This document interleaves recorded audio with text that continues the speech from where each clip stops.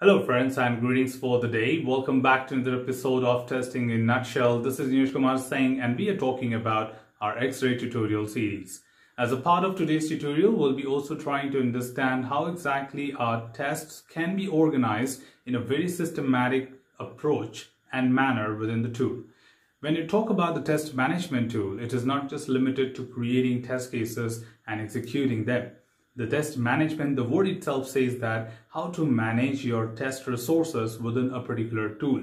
So organizing them, putting them into the right set of folders, putting them into a directory where the test can be approached in right categories and combined together into certain format. And that's what the test repository is an option within the X-ray which does the job of managing your tests in a systematic folder arrangement. So today we'll be talking about what is test repository as a part of X-Ray and at the same time we'll be looking into how to create your set of folders, hierarchy and putting your test within that. So let's have a look and get started with test repository.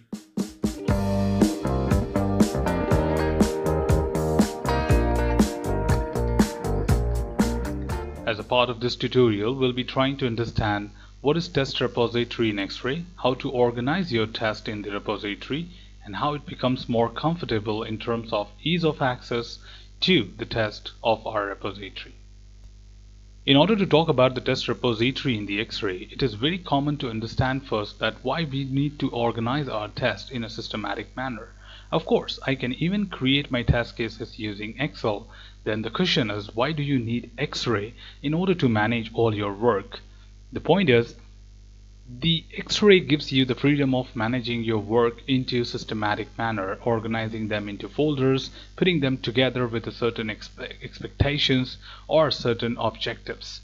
But same thing if being done with Excel sheets, you may have any number of Excel sheets within a workbook or you can have many number of workbooks which could be lying here and there in different folders within your file explorer. Now the question is how to arrange it systematically and what could be the better benefits of looking at them when we need them at the right moment. Now to get started, I'm going to jump onto the backlog to show you what is the problem because until unless we know the problem, we do not understand the worth of a solution. Right now we are looking at a Kanban backlog and this backlog consists of some of my tests and some executions as well.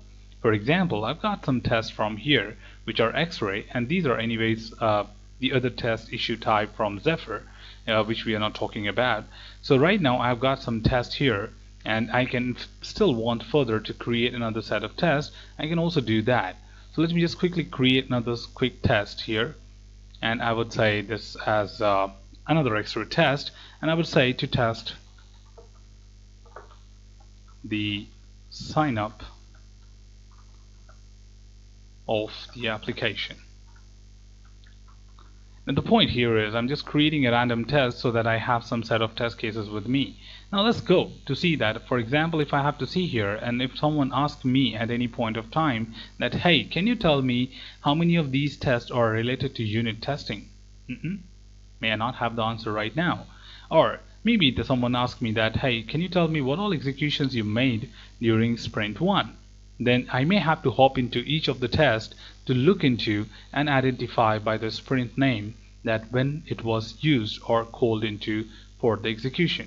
Can you also tell me quickly that what executions did you perform when you were talking about sprint 1 or sprint 2?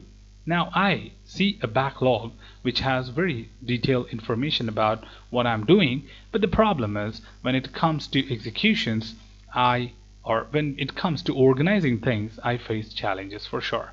Now this is where the test repository functionality or feature of our X-ray would be very helpful to organize our test cases in a very systematic manner which would be very helpful to access information at any point of time.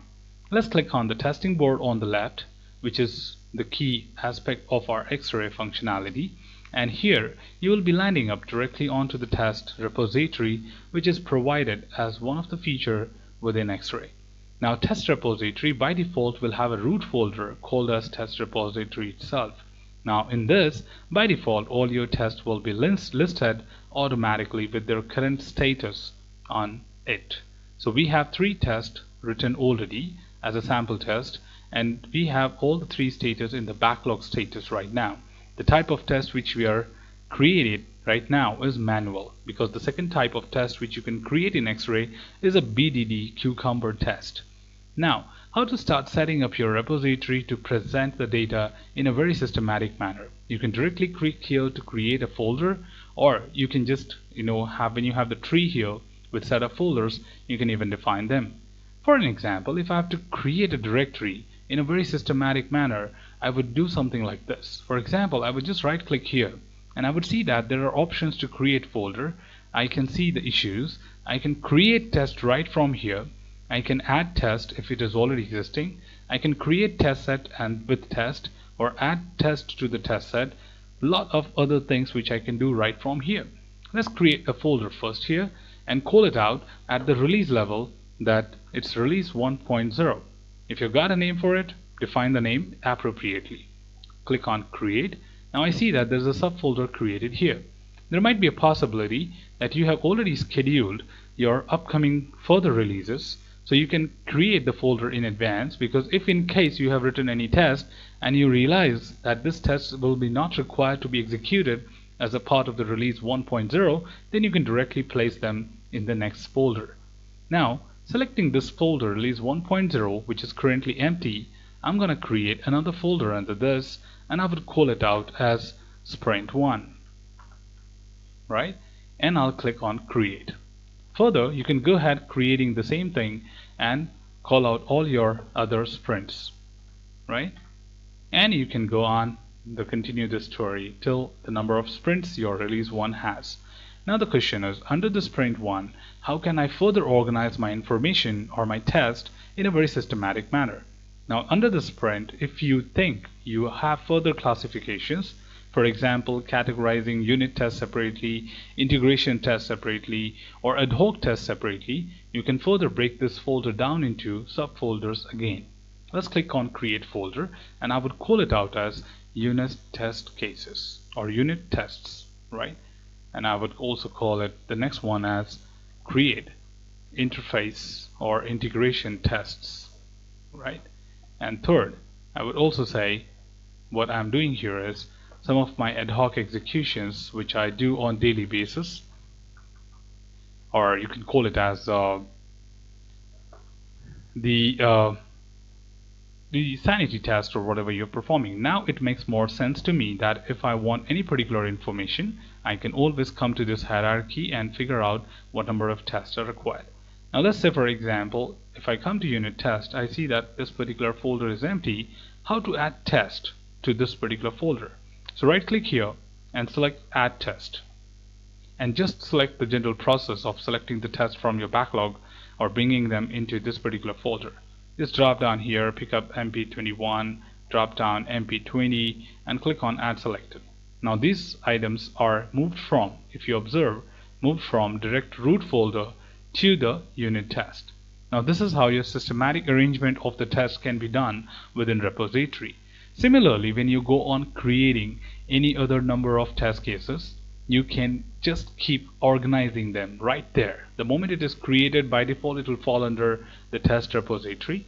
Then you have to just come to the respective folder and drag them into that particular folder where they belong. Now at any point of time, if your manager or a project stakeholder is looking forward to understand that hey can you tell me what total number of tests you had for the sprint 1 then at the sprint 1 folder level you will see the total count of the test. At the same time if they ask you can you tell me specifically that what number of tests were written for interface testing? then you can just come here and quickly show them the list of tests. What do you have here now that's how simple and more systematic your test management becomes specifically in terms of creating your repository for the project. And this can continue further for all your sprints or all your upcoming releases within the same project. Can I do anything more?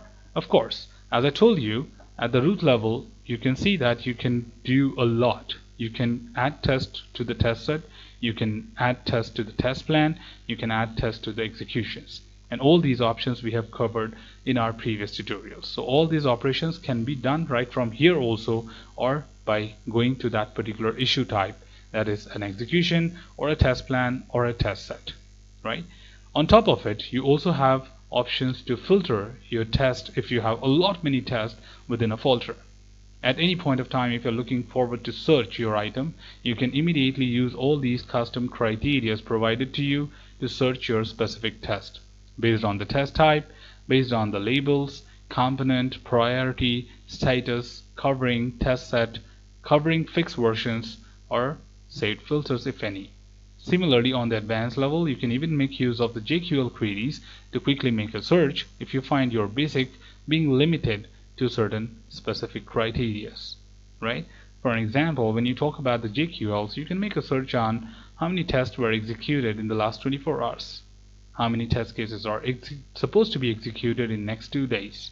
So those kind of criteria can only be fulfilled with respect to the JQL right so we do have provisions to manage them or search them right here in our test repository I hope you had a good wonderful understanding on the test repository of the X-ray and it's all about managing your folders and putting your test in the managed folders in a very systematic manner which could save a lot of your time in order to report in order to quickly get the statistics that what you have been doing so far in order to contribute towards the quality of the system right?